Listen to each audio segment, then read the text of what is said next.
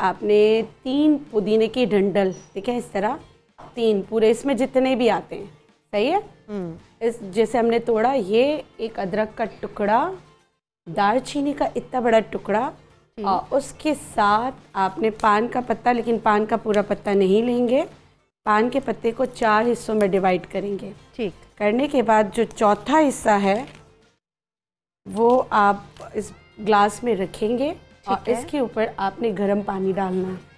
आपने गर्म पानी डालना है ठीक है? ठीक। ये जो बना है इसको जिनको भी हार्ट के मसाइल हैं हार्ट डिज़ीज़ हैं उसके साथ उनका ट्राईग्लिसराइड बढ़ता है या बैड कोलेस्ट्रॉल बढ़ता है तो ये इसको रात को भिगोकर ढक कर रख देंगे खोलते गर्म पानी में। ठीक है। सुबह आपने दालचीनी का टुकड़ा निकाल लेना है बाकी चीज़ों को ब्लेंड कर लेना है।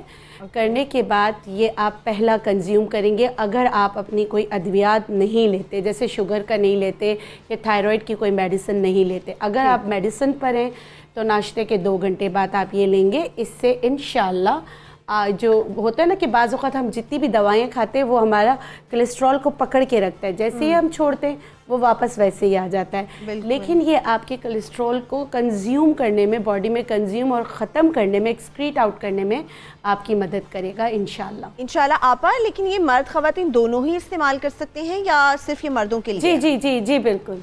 नहीं नहीं ये दोनों के लिए ये अच्छा दोनों के लिए। और बाज़ात ऐसा होता है कि वाटर रिटेंशन की वजह से ओबीसिटी हम्म। नहीं होती मोटापा नहीं होता है लेकिन वाटर रिटेन होता है बॉडी में जिसकी वजह से आप ओबीस लग रहे होते हैं सेलोलाइट्स होते हैं।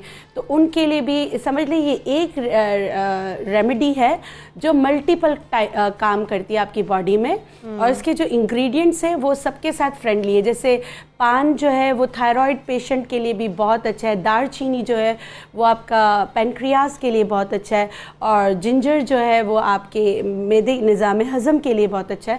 तो तमाम बीमारियों को देखते हुए आपके जिगर से जो जिगर ने चर्बी जमा की हुई होती है उसको ख़त्म करने में आपकी मदद करता है